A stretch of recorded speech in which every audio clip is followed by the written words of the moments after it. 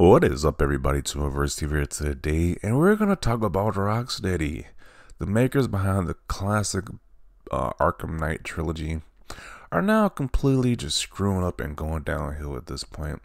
So they are making the Suicide Suicide Squad game, and they are promising even more live service games. Even when, even when this game was, was received very negatively by the internet, people panned this game because of the live service aspects of playing a multiplayer co-op based Suicide Squad game. Like who wants to play that? Nobody wanted that. We want another Batman game. Fans would have loved to have another Batman game. And that's kind of honestly why I think Spider-Man, the Spider-Man games from Insomniac, either Spider-Man 1 and Spider-Man 2, are getting so much praise because they pretty much took the spot of Rocksteady at this point. Because I'm playing Spider-Man 2 right now. I am enjoying it, but there's a lot of a lot of negatives, a lot of gripes out with that game. Um, it's enjoyable, sure, but let's be honest. If there was another another Batman game right now from Rocksteady that was like how the Arkham trilogy was, will we really would Spider-Man Two really be getting as much hype right now?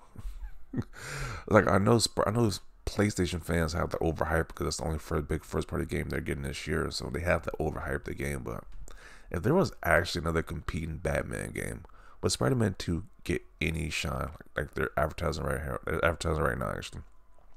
Would this game get any shine? There's another Batman game currently out because Spider-Man and Sonic pretty much copied the Batman formula. I mean, sure, it's great you play Spider-Man, but I'd rather have another Batman game. to Be honest, but they're making these dumb decisions, doing more live service games, and I was like, why? So this is from Kotaku.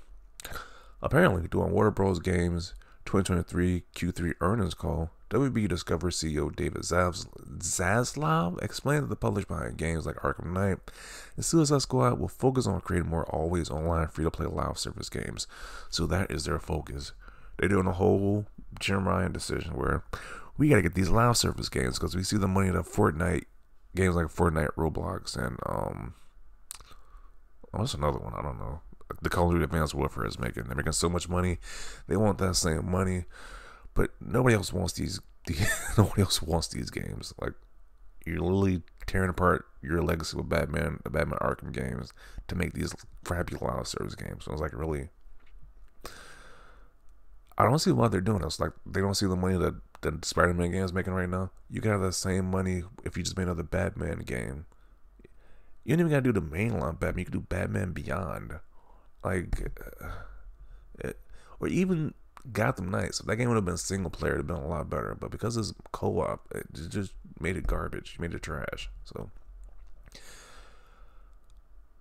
uh, but yeah, this is just this whole thing. They're just trying to make it multiplayer based going forward, which this their greed is really tarnishing this art form we know as gaming at this point because people, fans will love another Batman game. It's been a while since we had Arkham Knight. And I wasn't even a fan of Arkham Knight because of the whole Batmobile. But if you just have the same formula that you have for Arkham Asylum, Arkham City, you will make another masterpiece. But because they want to focus on live service, Insomniac has to take the take the reins, so to say. And their game, Spider-Man game, is getting so much praise when it's just Batman. The original formula for Batman that made it so successful. So it's sad to see the Batman has gone downhill. The games, at least, has gone downhill because they want to focus on making money, which is tarnishing the game franchise. Tarnishing, definitely tarnishing Rocksteady's legacy as being one of the best video game makers, be the best superhero game makers. That is definitely in the toilet now at this point. So I don't have any faith in the Suicide Squad versus Justice League game. Even though I like the concept, I just don't like the whole a games as a service multiplayer aspect. They can't. Why can't they just deliver a great single player game?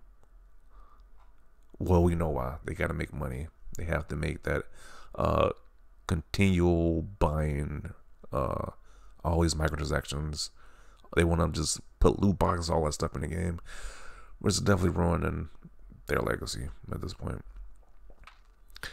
This person says, I'm looking forward to Suicide Squad, not because I expect to enjoy it, but because a game whose premise is so in conflict with its own gameplay, can't help but be a hilarious train wreck when released. Yeah.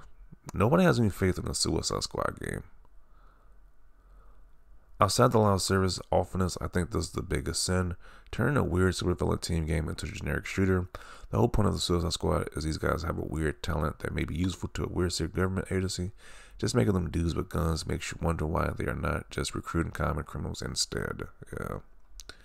Just a soulless game as a service game is what they're making now.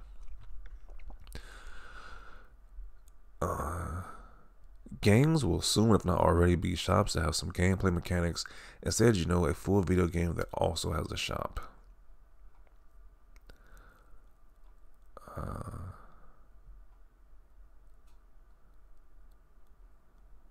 it really is kind of amazing how an overpaid, dumb piece of crap Zavlov continues to be. He's definitely the reason why why Rocksteady and WB is declining. Like the fact that they literally tarnished the whole Batman trilogy is just it's just amazing at this point. How do you turn Rocksteady, the people who made the Batman Arkham trilogy, into this now? Like it's just sad to see. This game is gonna be amazing. So somebody's hyped for the game, I mean, I mean the the, the premise is amazing. Like you get to fight play as a Suicide Squad against the, uh, a brainwashed Justice League. That's a cool premise, but the whole co-op aspect is just really does not make. I'm not a fan of that. Threatens even more live service games. I feel threatened. is that a threat? People are saying them making more live service games is considered to be a threat at this point. That is kind of crazy. That's how much. That's how much the gaming community dislikes these games and service games. I promise I won't buy your live service games. Dude can't even release one yet, but okay. Looks like I've lost interest in this game. I was planning to play with my brother. Bruh, this whole live service thing is is, is really is, we need to talk about this. This kind of really ruining the game, and to be honest, like I get it, you all all you guys want that Fortnite money, but a lot of you guys won't get that Fortnite money. You're not getting it, so uh, it's so annoying because these people who are the head of these companies don't even play video games. Like I'm pretty sure the Zavlov guy don't play video games. I'm pretty sure Jim Ryan doesn't play video games. That's why he went with this focus for PlayStation they don't play video games at these head of these companies, and they are destroying our hobby. And nobody's talking about it. No major media outlets, Kotaku, sure, but that's only one. Like, why isn't a major focus being brought on why these guys are destroying the people who made the Arkham trilogy? Like, that's just craziness to me. The bullet, one of the most beloved super franchises, is just being destroyed in front of us right now, and nobody's talking about it. Aren't corporations supposed to be risk adverse? Live service games are more likely to fail than anything else in the gaming. Yeah, because they want you to just stick with that one franchise, that one game forever. But if you leave, that game flops. It's like you better off just doing the one and done games at this point. Like how they been doing. More crappy experiences, awesome. No one likes live service games. Rocksteady, are you guys working on this dog crap? How does it feel falling from the top or selling out? yeah, which one is it? Are they just falling from the top, falling from grace, or are they just selling out to make more money? Like, I don't know which one at this point. I think both probably. No one asked for this. Uh, no one asked for being live service. I wish we would get some effort information on this damn game. Been like a year and we haven't heard crap. Publisher has no clue what they are doing and who they are advertising to. That's also a viable headline. Um, FWB Games, it just means they're going to push the BS directive on yet another terrific game studio and ruin them too. I feel for Rocksteady Games, they're going to take the brunt of the backlash when this game flops like Anthem. Yeah. You know, people wanted Rocksteady to make like a TMNT game at one point. They they wanted them to make a Batman Beyond game. They wanted to make a hell. They wanted to make a Justice League game, but we we aren't getting that. We're gonna get these live service BS nonsense because WB has a head so far behind us. They don't know what they're doing with the studio. It's like, jeez. I wish Microsoft had the money to buy the studio. I really do. And that was one time we need some constant consolidation going on. People won't talk about how it's such a negative thing. We need that for this because they are literally turning this studio into garbage at this point. He also made it clear that single player games like Arkham City aren't really on the menu anymore. Arkham City is literally one of the best superhero games ever made. I think it's even better than Spider Man 2, to be honest. I still think it's better than Spider Man 2, but you know, they want you to, they want to go away from that because they want that Fortnite money. And I agree. Somebody needs to save Rocksteady at this point. They definitely need to be saved.